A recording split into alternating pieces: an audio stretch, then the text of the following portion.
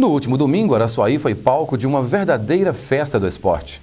Em quadra, determinação, talento e muita vontade de vencer. Os times de Araçuaí se destacaram nas finais da 16ª Copa InterTV de Futsal.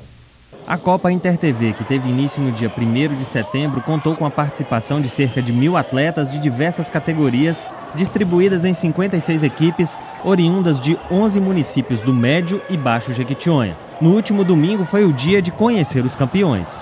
Para a gente investir no esporte, é investir no futuro. Araçuaí é uma cidade que eu tenho um carinho especial e a nossa empresa está aqui há vários anos. Esse presente não só para Araçuaí, você vê que diversos municípios vieram participar. Então para a gente, para Ciclo Dias, é uma honra poder proporcionar essa alegria ao povo de Araçuaí e toda a região. Durante todo o domingo, as equipes de diversas categorias se revezaram no ginásio. Em quadra, os melhores times da região. Araçuaí ficou com os primeiros lugares nas categorias Mirim, vencendo o ponto dos volantes, Pré-Mirim, derrotando o time de Medina e no Juvenil, vencendo o ponto dos volantes de virada, com gol de Jonathan. O resultado mostra que o esporte em Araçuaí tem futuro.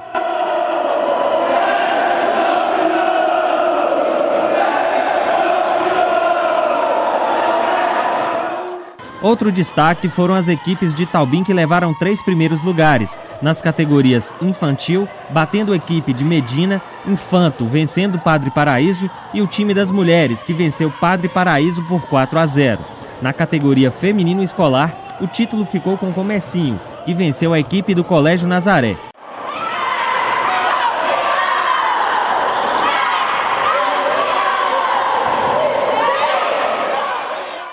Para o colégio é muito importante estar sediando uma Copa desse nível.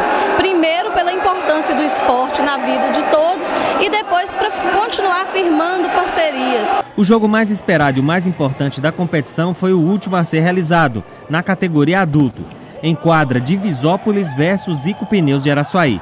A equipe de Divisópolis começou ganhando e manteve o placar de 2 a 0 durante quase todo o jogo. A equipe de Araçuaí reagiu e empatou a disputa, acirrando ainda mais a partida. Com o empate, a decisão foi para os pênaltis e Divisópolis levou a melhor, ficando com o título de campeã.